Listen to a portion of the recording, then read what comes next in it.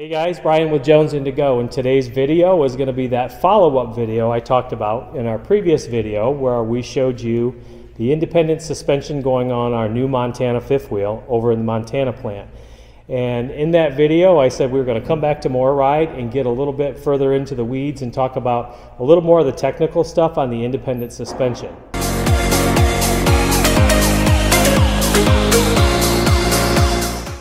Now, for everybody, independent suspension might not be the equipment for you. So stick around to the end of this video and we're going to show you some other options from MORryde to upgrade your suspension at a little bit more economical um, price point and it'll also give you a smoother ride. So today Hayden's joining us to go over the independent suspension. So Hayden, let's talk a little bit about independent suspension's been around for a while with mm-hmm. MORryde. Yes, so since the late 90s actually. Um, we haven't made any major changes to it in that time frame. It's one of those products that we, we got right the first time. Um, it didn't really gain traction until the late teens, so 2018, 2017 is kind of when it really blossomed into what it is today. Um, the roads are getting worse. Um, it's just drawing more and more attention to itself because of what it does to the longevity of the coach. Absolutely, and that was one of the things that if you guys watched um, the previous video of the installation, at the beginning of that video, uh, when we knew we were specing out a new RV, we both, Tina and I, both had absolute must-haves for this RV. And my two top uh, must-haves were the suspension and the brakes. And we're going to talk about both of those today, obviously. Um, the independent suspension was a must because we have a rear kitchen. And anybody that's been in the RV industry or owned RVs know that when you put something like a heavy refrigerator in the back of a rig, that's where most of the bounce is. Mm-hmm. So for us, independent suspension was a must for that. Not only that, if you've ever broke a spring hanger or a spring, you know what a pain that is for a couple of reasons. Number one, you're stuck beside the road. You don't know who's coming, if they're reliable or not, or what it's going to cost you. And, and we've unfortunately had to endure that. And I can say firsthand, they're going to take advantage of you because they know they've got you.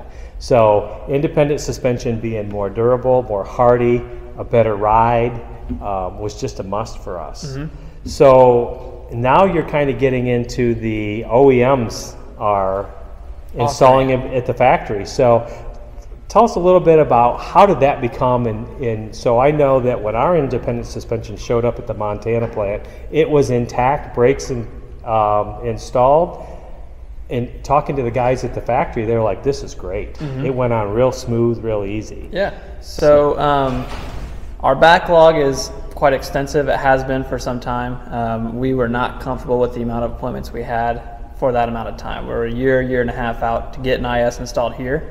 Um, what we wanted to do is make it more available that you could purchase it while you bought the unit. Now you can finance the IS with the coach. That's something that we don't offer.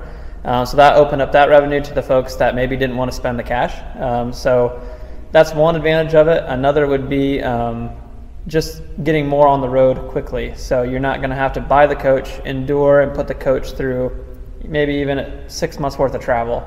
Uh, but what that's going to do to the to the integrity of, of your unit can be devastating, even though it's only the six months. Um, so you're going to get it right out of the gate, so your coach is protected as soon as it leaves the factory floor. That's a huge advantage. Um, in, in getting it to the factory level, we had to develop a new way to install the IS. Our, um, our old system, our old way of doing it took two days, three days in the shop with a lot right. of cutting and welding and things like that.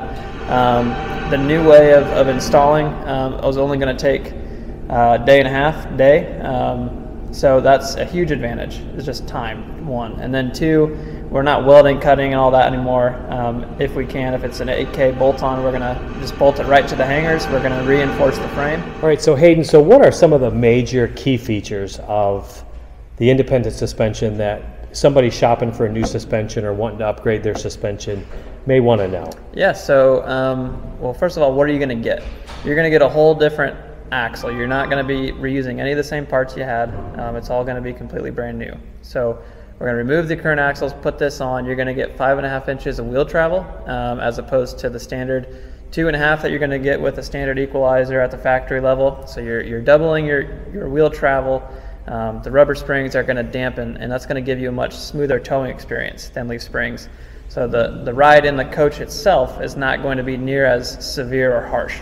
Okay. Um, protection of the trailer. So a house is only as strong as its foundation. We believe that. Um, it's proven itself time and time again. What the what the suspension of your trailer is is quite literally the foundation. Because when you're pulling this down the road, you're essentially putting it through an earthquake. Um, with that protection, you're going to increase the longevity of the trailer. Um, the IS has a five-year warranty with it. Um, so most people, not all, a lot of people cycle through these very quickly. Um, So that five years hits majority of our customers as far as the lifetime of their ownership of the coach.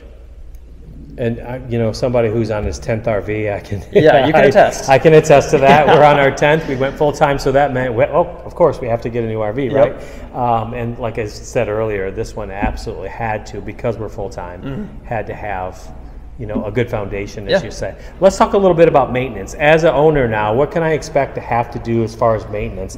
You know, with the old axles and springs. You know, we were always inspecting the spring hangers, looking at the springs, and grease and bearings. What's what's going to be involved with the independent suspension? Sure. So, um, as far as required maintenance, what you're going to want to do is still service the bearings in the same interval, which is 12,000 miles or 12 months, whichever comes 1st So that doesn't change. Um, so that stays the same. As far as a visual inspection, um, I always tell folks it's a great idea to do a walk around of your trailer every time you stop after pulling it somewhere. Yep, just do, do a, that. just a simple walk around. Uh, observe the tires, make sure there's no inner or outer tire wear. Make sure you're not getting excessive heat or anything like that. That's just a good thing to do no matter what suspension you have on your trailer. Right. Um, the only other real maintenance concern is alignments. So there's folks that will come in and get alignments every year when they do their bearing pack, and there's folks that will wait until they see abnormal tire wear on the inside or the outside of the tire. It's all at your discretion. Um, now you don't have to come back to us for those maintenance requirements. You can go to semi truck shops. Um, doesn't have to be our shop. Um, anyone that works on the big trucks has space space for an RV. Um, the alignment on an RV is the exact same as a semi truck trailer where you're adjusting camber and toe. Um, it's just how you make those adjustments. That's what's Okay. different. So, do you have any like authorized service centers around the country that you recommend? Yeah, so we have a list on our website that is a list of customer recommended shops, places they've been that have done the alignment and they've felt was a good experience. Okay. Um, there are two other authorized installers in the U.S., one in Kansas and one in Oregon. Those would both be what I would consider authorized. The rest Okay. is just kind of by word of mouth, um, so to say.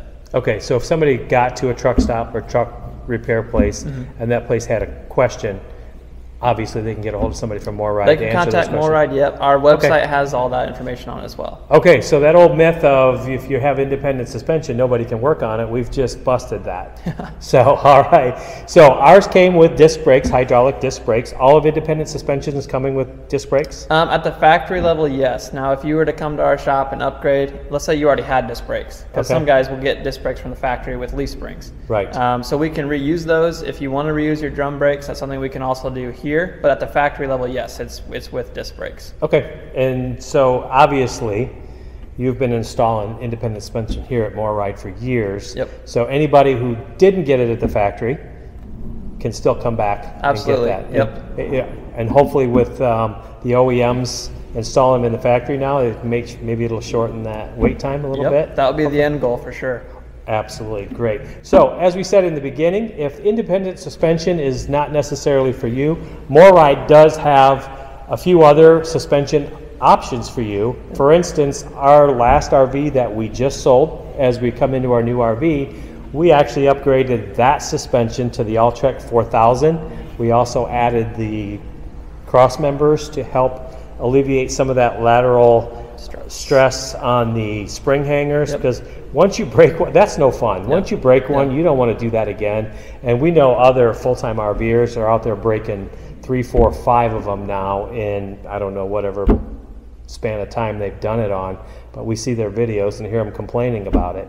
So we did that in conjunction with the heavy-duty shackles, and that gave us a lot of peace of mind. And I can tell you, taking the um, OEM equalizers that came on our last Montana off and going to the Alltrek 4000, the difference that we felt, Yep. it shocked me because I thought, okay, we're just changing the equalizer. We're not really going to feel that. Not only did we feel it, but I could see it. And what I mean by I could see it is when we're going over these potholes or especially railroad tracks, before we switched over to the Alltrack 4000, we could watch that coach just wobble over it. And it seems like it almost just went smooth after that. And so we started seeing a lot less things on the floor, even with the Alltrack 4000. So, what are some of the other um, options that people have Yeah. other than the Alltrack 4000? Yeah, so kind of the, the the the more entry level one would be our CRE 3000. A lot of manufacturers have adopted this into their everyday use. So you'll see these come out of the factory level. What you're doing is you're getting three inches of wheel travel compared to the two that you'd get with a standard steel equalizer. Um, we've got some rubber dampening there, so we're going to actually provide some some shock reduction, um, some cushion, so to say. Um, then the Alltrek, which is what you just talked about. So the Alltrek and the CRE, so that's just all dampening power and shock absorption. I felt it. yeah. I, I experienced it, and you know, it made me feel good too, passing that that RV on to the next owner, knowing they had a solid suspension under it, Yeah. and I think that they really appreciated what they were getting as well. Yeah. So, um, so now as far as the brakes go, I think what we're going to do is we're going to talk about the brakes. We had DeeMaxx brand brakes on ours. Um, we also had those installed on our last RV. Loved them so much. Loved everything about it.